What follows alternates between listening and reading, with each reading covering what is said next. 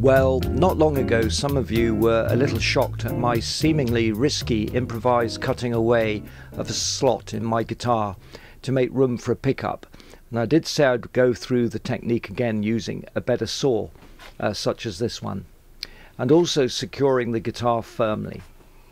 Now, somebody suggested the operation could be done with a Stanley knife, but no, there would be less control cutting through the hard cellulose lacquer and the three millimeter thick guitar sides uh, would be unsupported.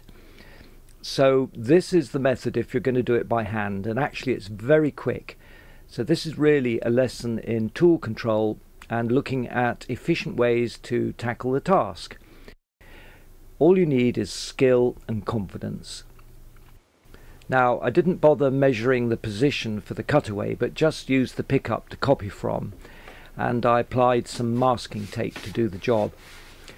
So don't forget there's a tiny overlap on the pickup so you have a little bit of leeway here.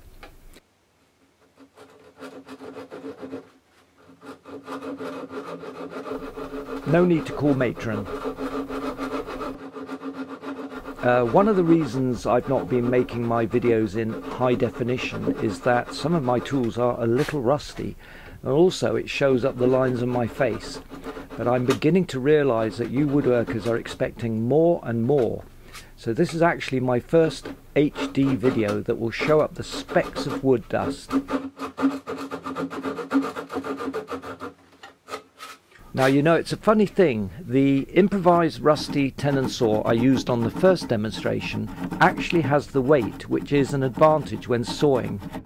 Uh, this little guitar maker's saw which is used for cutting frets mainly has greater control all in all, but lacks the weight.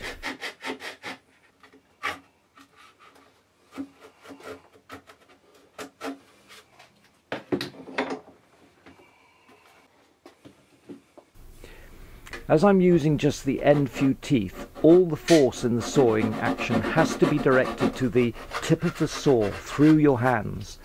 But actually it's easier uh, with this little saw.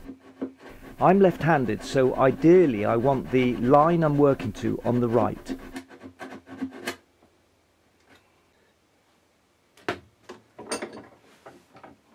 I then turn the guitar around and reposition the sawing. See how important it is to have the workpiece secured firmly. Uh, slow up as you get to the end of the cut. Okay, we're nearly there. There she goes. Oh, I was a little hasty in marking out and it's slightly oversized, so I can just take a bit more off. It shouldn't take too long. Well, there we have it. Now, did you honestly notice the difference in image quality between the original video inserts and this new video? No.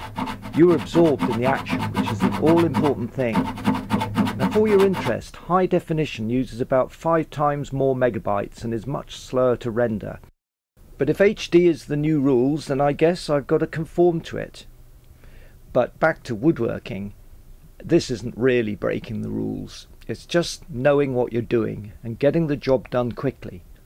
It's woodworking. It's fun. Thanks for watching.